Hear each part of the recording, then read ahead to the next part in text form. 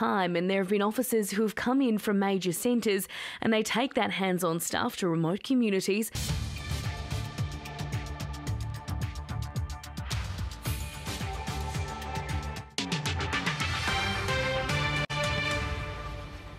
This is ABC News. We're interrupting our programs to inform you Her Majesty Queen Elizabeth II has died.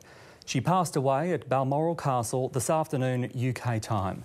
During the past seven hours, Britain and the world has been waiting for news after hearing of doctors' grave concerns for Her Majesty's health. Queen Elizabeth was the longest serving monarch in British history.